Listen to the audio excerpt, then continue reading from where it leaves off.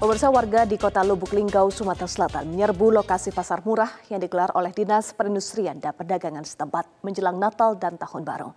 Di pasar murah, kebanyakan warga menyerbu lapak beras murah dari Bulog yang dijual Rp10.000 per kilogram. Bertempat di halaman parkir Pasar Bukit Sulap, Kota Lubuk Linggau pada Minggu, ratusan warga dari berbagai kelurahan yang ada di Kota Lubuk Linggau menyerbu pasar murah ini.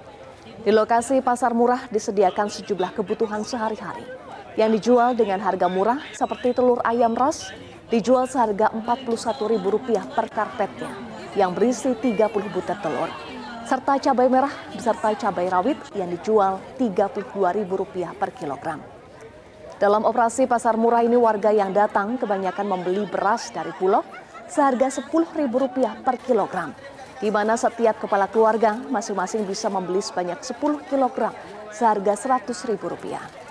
Harga beras ini jauh lebih murah dibandingkan dengan harga di pasaran saat ini yang telah mencapai Rp14.000 per kilogram. Oh 100 ribu sekarang? Ya. Uh, kalau di pasaran berapa harga sekarang? Harganya 100, kalau ini 120. Lebih murah di sini ya? Oh, 62 ribu. Isi berarti lebih murah di sini, Pak? Iya. Oke. Harapan kita macam mana, Kak?